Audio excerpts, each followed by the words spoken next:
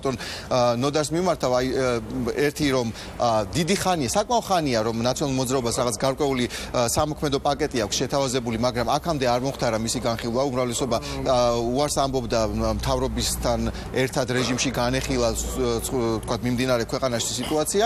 აი ეხლა რატომ გადაწყვიტეთ რომ განგეხილათ და როგორია თქვენი დამოკიდებულება ესე იგი რაღაცები აურია ბატონ მეზურობა სხვათა შორის ეგ ბატონი დავითიც ესე იგი დამემოწმება ჩვენი კომიტეტის თავმჯდომარე ბზანდებოდა აქამდე რომ აქტიურები საკომიტეტო მუშაობაში ორი წლის განმავლობაში არასოდეს არ ყოფილა ნაციონალური მოძრაობა მათ შორის თქვა დაცბაწონი ზურავი რასაც ძალიან წუხართ და ჩვენ ძალიან ხშირად ესე იგი მათ მოუწოდებდით რაღაც უსწორი სიტყვები მეხმარე რომ ისინი თქვა პირველოვანი ოპონენტები ყოფილიყო. რა შეიძლება ხა უცნაური რამ თქვა თვითონ ის არის ამ დადგენილების აქვეა პროექტის ავტორი და თვენახევარია უკვე მეხუთედ გავიტანეთ კომიტეტის თომას. ეხლა თუ თვითონ ესე იგი პროექტის ავტორი არ იქნებოდა, როგორ მოხდებოდა მისი განხილვა კომიტეტზე? ეს ხო რეგლამენტი და რეგლამენტის გარეშე უნდა გავიკეთები ეს?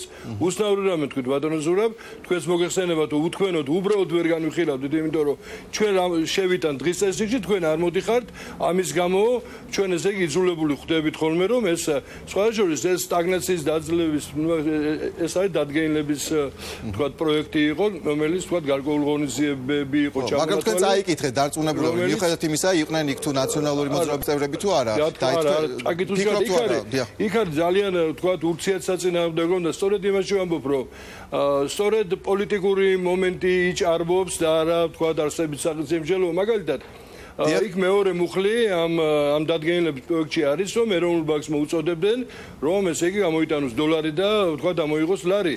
როცა სრულიად საწინააღმდეგო თქვა განცხადებებს აკეთებენ თქვა ეთერში და თქვა ეკონომიკურ საკითხებზე. ჩვენ ამას არ ეთანხმებით. არ ეთანხმებით ამას. ეს მე ვეთანხმები არ ვეთანხმები ამას მე საერთოდ ვამბობ რომ იმიტომ რომ ეს დადგენილების პროექტი შემოტანილი იყო სწორედ პოლიტიკური მომენტისათვის ხმაურისათვის თუნდაც თქვენ იხილეთ ყველამ გაერთიანებული სტომა საფინანსო საბიუჯეტო და დარგობრივი ეკონომიკის, სადაც იყვნენ ოპონენტები, საკმაოდ კვალიფიციური ოპონენტები და დავწერლ სმენელი ბევრი ყავდა და მნახველი ძალიან ყურადღებით აგვირდებოდა საქართველოს მოსახლეობა ამ ესე იგი გაერთიანებული კომიტეტის დომებს და ნამდვილად ვერ ვიტყვით, რომ რამე რამე ახალი თქვა ისო პრობლემები რო პრობლემებია ახლა ამას რა რა დიდი ლაპარაკი კეთილ სანუ აი ბატონ დავითის აზრსაც მოვისმენდით მე მინდა რომ მაგრამ ასე არ იძლევა რა პრობლემა მხოლოდ და მხოლოდ